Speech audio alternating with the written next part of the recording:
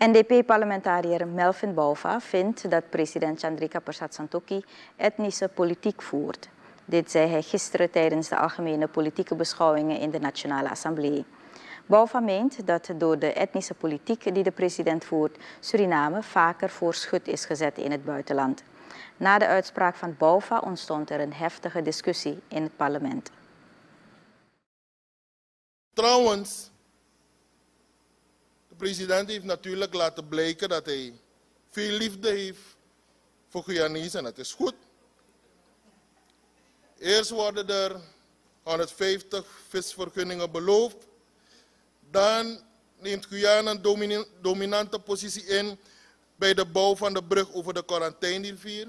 Zonder de duidelijke betrokkenheid van Suriname. En laten wij überhaupt nog Guyana en Barbados misschien onbewust en buiten het gezichtsveld van onze president de lead nemen in de agenda en de vloer van de klimaattop. En daarover het volgende.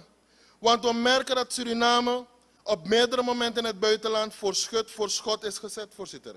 De etnische politiek van de VAP en de Friends and Family beleid door studenten in Nederland zijn niet lang geleden op de korrel genomen. Daar waar onze vicepresident zelf voor schut is gezet als bankrover en struikjesrover. Let, let, let Bolga, let Bolga, ik, let Bolga, ik ga u even interromperen. U heeft daarnet gezegd de etnische politiek van de VHP. Dat kan niet door de beugel. Ik bedoel, u kunt dat niet hard maken. De president is geweest als president van het land en niet als voorzitter van de VHP. Nee, maar ik ga niet refereren naar journalisten. U bent hier in de Nationale Assemblée en u moet de dingen goed onderbouwen en geen suggestieve zaken voorhouden. Ook VHP-parlementariër Mohinder Yogi was het niet eens met de uitspraken van Bouva. Hij wees erop dat de VHP nooit etnische politiek heeft gevoerd en dat ook nimmer zal doen. Hierna verduidelijkte Bouva wat hij bedoelde. Voorzitter, ik heb niet gehoord en niet begrepen dat het geachte lid Bouva heeft aangegeven dat het zijn mening is dat de VHP een etnische politiek voert. De heer Bouva heeft aangegeven dat de VHP een etnische politiek Dank u wel, lid. Uh, Jogi, het is duidelijk. Gang. Voorzitter, voorzitter, ik heb mijn visie nog niet gepresenteerd, voorzitter.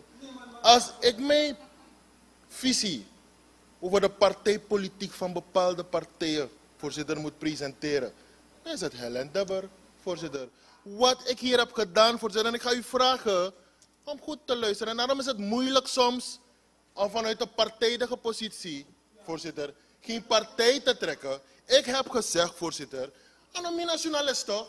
Die journalist is daar, stelt vragen over de samenstelling van het kabinet zoals is ingediend en voorgedragen door de vooruitstrevende hervormende partij. En de president had geen enkele andere keuze om te zeggen hoe dat was. Heb ik dat gezegd? Heb ik dat gevraagd? Nee, voorzitter. Ik zeg hier in mijn, in mijn toespraak, het is niet mijn mening, het is niet mijn visie, niet dat dat low. Het is wat is gezegd, voorzitter. Zeg ik dat de etnische politiekvoering van de VAP en een Friends and Family beleid daar in Nederland door de studenten daar en de journalisten daar op de korrel is genomen. Dat is toch feit? Je hebt maar twee minuten nodig om naar het filmpje te kijken met een beetje gezond verstand. En je ziet, voorzitter, dat de president spaak is gezet op dat vraag. Bouva werd weer door de vicevoorzitter van de Nationale Assemblée, Deo Sharman, onderbroken, omdat hij vond dat Bouva zaken aanhaalde die niet op waarheid berusten. Robin Permeester zei dat parlementariërs niet onderbroken mogen worden bij het presenteren van hun visie. Volgens Permeester gebeurt dat echter constant bij leden van de NDP.